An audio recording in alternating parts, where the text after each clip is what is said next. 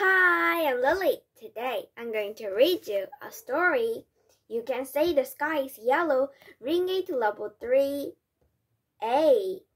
You can say the sky is yellow. Okay, let's read it. I am what I am.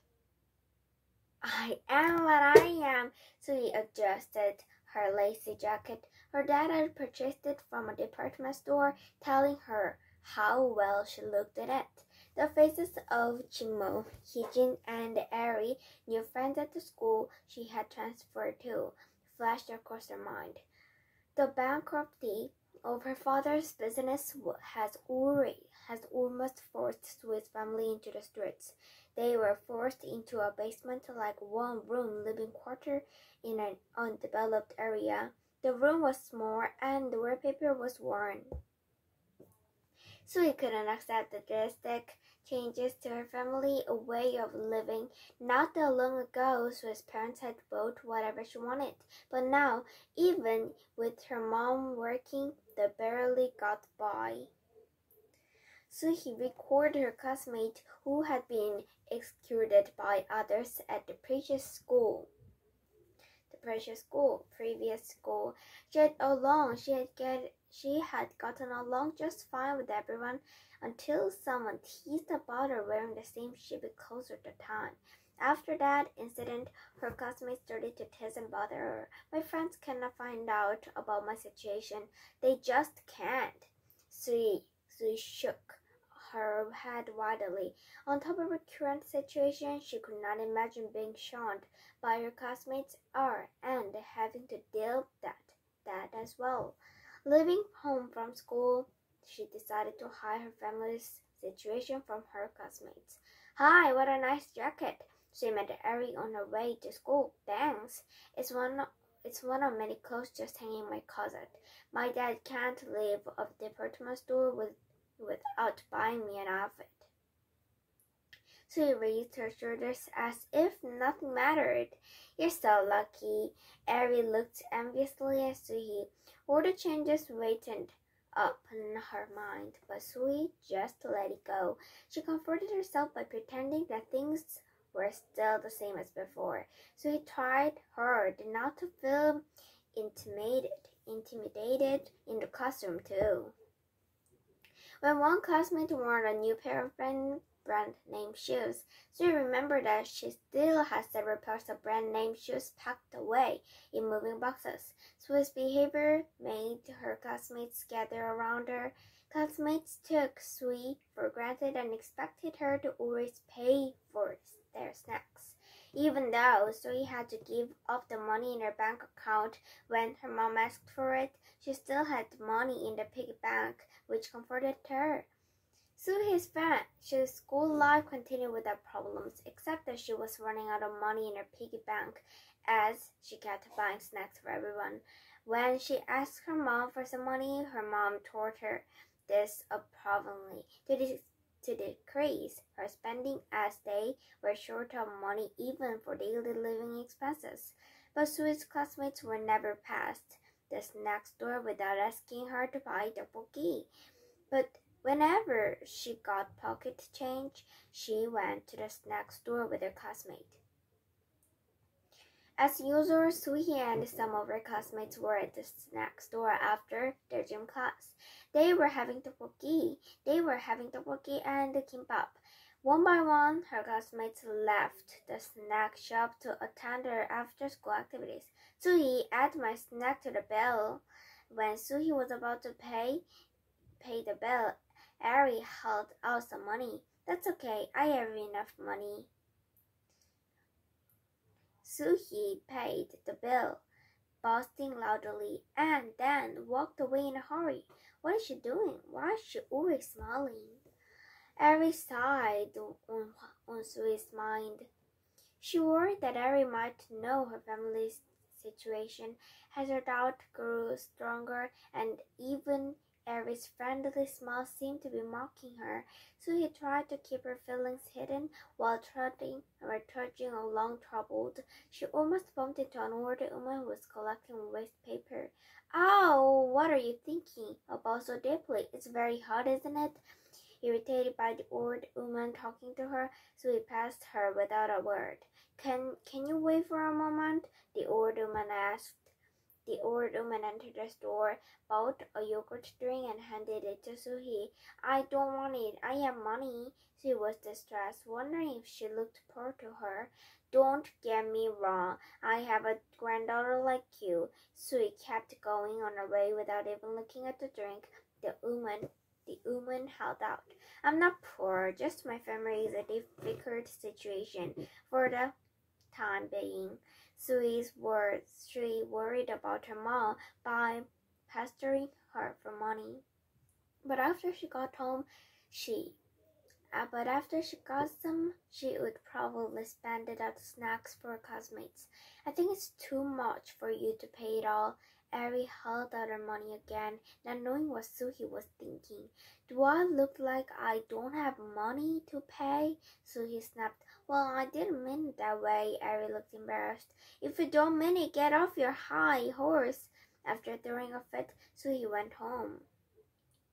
She hoped her mom would warmly welcome her so that she could tell her about an uneasy, anxious day, but her mom came home late at night after work and collapsed fast asleep. As for dad, he had stayed at the home for a while, but her mom kept pressing him to find work. He finally got employed as a driver on a company's daily van. Her dad said it was fortunate for him to have the job. A few days before, a few days before, he had given Suhi a small bag, which was a free gift to promote one of his company's new products. I need new clothes and more pocket money. If what if my classmates learn about my family's situation? Heading to school, Suhi was depressed again, and being long, her fears become a reality. There's Suhi now. Ask her, ask her whether or not I'm lying. Jimo said, pointing at Suhi, who was just entering the classroom. Her eyes were on Sui. Surprised, Sui froze on the spot. What's going on? Sui asked, forcing herself to pretend nothing was wrong. Is your dad a driver for Jumo's dad's company? Heejin asked. Is that the company dad's working for? Sui thought to herself.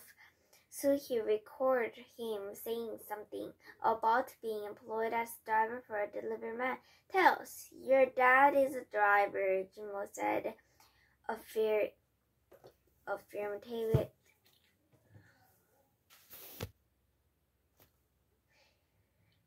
Chimo said affirm affirmative affirmatively.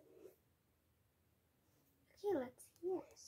Your dad is a driver. Chimo said affirmatively. affirmatively. Everyone held their breath, waiting for Sui's answer. Hey guys, why does it matter to you? To you, what kind of work Sui's dad does? The important thing is that her dad works hard. That is what my grandma always says. I also agree with my grandma. It was Ari who broke the silence. You're right, but Suhi acted like she was very rich, Heejin said. I also thought her family was very rich, but her dad is just a driver at my dad's at my dad's company. I was very surprised, Jimo said sarcastically. You mean that we're food buyer? Empty vessels make the greatest sound. The, stu- the students started to make a commotion, Suhi's face flushed red. My dad is the president of a big company. He's the president. The president! Suhi yelled, flopping down into a chair, but burying her face in her hands on the desk.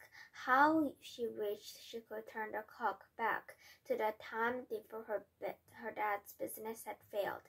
Jimo, were you bluffing just now? No, I heard it directly at my dad's office when I dropped by yesterday. Then, who is telling a lie? There was penetrated deep into Suhi's ears. No matter how hard she tried not to hear them, their voices were loud, as if they were speaking into a microphone. Suhi couldn't remember how she managed to make it, though. the rest of the school day. As soon as she came home, she put a blanket over her head and burst into tears that she had held back or die. When Princess looked at dinner, it was Dad, Suhi pretended not to hear him, curling up like a snail. It's been ages since I've been home only to have dinner together. Her dad made Suhi stand up by putting his hands behind her neck. Dad, when can we go back to where we used to live? I don't like any of the kids here.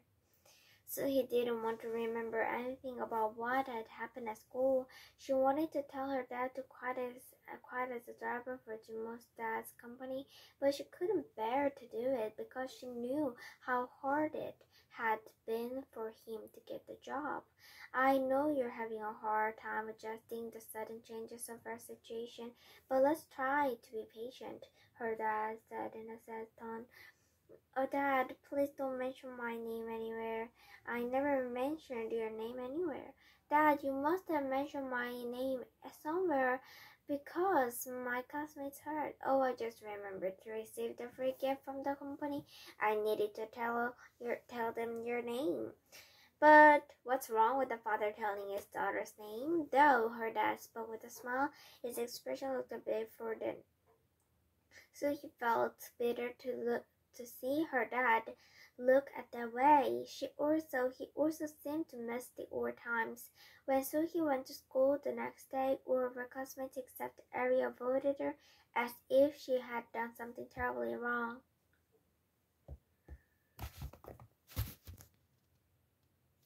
Ari smiled as Suhi when their uh, eyes met, but Suhi couldn't like her thinking that Ari already knew about her situation but was just pretending otherwise. Suhi was on cleaning duty after class and she was silently cleaning the classroom. As the other students on cleaning duty on cleaning cleaning duty duty uh, snuck away. She ended up cleaning the classroom alone. Then Mary came into the classroom with a warm smile on her face. Ari started helping Suhi clean the classroom. Do I look pathetic to you? Suhi asked cordially. Not at all, Ari answered cheerfully, lining at the desk in straight rows. Then why are you sneering at me? Suhi long Suhi's long hardboard feelings came pouring out. I always feel it from you. Why always? Why aren't you always more honest with yourself? Your problem is you're trying to be pretentious. That's why I felt sorry for you. So I wanted to, I wanted to just believe you, even when you persisted, persisted to say that the sky is yellow while the others say it is blue. Don't you need a friend like that? Why? What makes you think you're better? What a nasty girl, Sue mumbled and left the classroom, wearing her backpack, leaving Ari behind alone. Suhi couldn't stop crying, but the following day, Suhi was surprised when she heard the news about Ari. Did you hear that Ari is going to stay at her aunt's house? Her grandma is so sick that she has to go into a nursing home. She has taken care of Ari by collecting waste paper all this time. Her grandma used to buy us yogurt drinks whenever she saw us. Yes, she did. If Ari lives, we're going to really miss her. How could she live without saying anything? They say her grandma was suddenly told she would enter the nursing home this morning. So yesterday, Ari came back after school to say farewell to the teachers. Her clean, her cleaned the classroom yesterday. Ari helping her. She thought of Ari helping her clean the classroom yesterday. She got choked up and her eyes ached with tears. I didn't know about that. Suhi had also seen the grandma who was collecting waste papers. She usually took kind, say hello to Suhi with a smile on her face, buy her, buy her yogurt drink, and speak proudly of her granddaughter. Suhi glanced down at her watch as if it was still morning to study hall. Suhi thought she could make it back before the first class if she hurried. Suhi hurried out of the classroom on the classroom and to the supermarket where Ari's grandma used to buy yogurt drinks. Excuse me, Mom, you know the old woman who collects the waste paper? Do you know where she lives? Of course I do, but I heard that she's going to a nursing home. I saw the ambulance go by just a minute ago.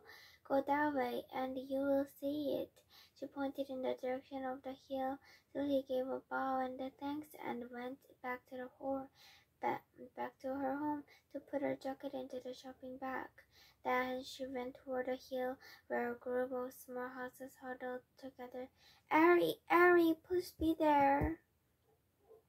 Being out of breath and and with trembling legs, she she almost flopped down when the ambulance finally came into sight. Ari's grandma was climbing into the ambulance with the support of others. Ari stood beside her. Ari, Suhi choked up. Class should be starting soon. Why are you here? Ari's eyes were wide with surprise. I need a friend who can trust me even though I possess the sky's yellow. Thanks to you. I now set my situation as well as it is. I've just realized that you're my true friend. But if you leave, what about me? Suhi, Suhi shed tears. Grandma told me about a family that had moved into this town recently. At first, I didn't know what that what family was. The family was yours. I found that out later. I knew exactly how you felt because I felt the same when I started living with grandma after losing my parents in an accident. But after I decided to accept the situation just as it was, I felt a lot better. Ari spoke calmly. You gave a big present, but I have not I have nothing to give you. Suhi held out a shopping bag. Isn't this the jacket that looks good good on you? That's why I'm giving you this jacket to you, though it is not you. I wanted to express my appre- appreciation to you. No, you don't have to. I can always feel, already feel it. Ari hugged Sui with tears in her eyes. Ari showed a warm heart to Suhi again, even when it was time for her to leave. On her way back to the school, Suhi realized that she had been too discouraged. Thanks, Ari. From now on, I will stick out my chest with confidence. As now, as soon as Suhi entered the classroom, she stood in front of her classmates. I have something to tell you. Something to tell all of you. Are you going to lie again? We are not interested in what you have to say. The students reported cordially. I was wrong. I cannot accept my changed reality caused by dad's business failure. But now I realize I was stupid. From now on, I'll accept my situation just as it is. So I hope you all stop hating me and good and see the good side of me. Suhi told them earnestly, What the sudden change? Everyone wondered. I have a true friend who will believe me even though I persist that the blue sky is yellow. What? A yellow sky? Are you dizzy now? One classmate, eh, one classmate asked. I, I've never heard it before, but I know it must be deli- deliberately then the truth of what she said. What, she, what was said, and another classmate said another classmate. What are you saying? It doesn't make sense. Yet another classmate said. The classmates talked noisily as if they had found something interesting. Oh, wait a minute. As they found something interesting. But Suhi felt nothing but peace of mind. Bye!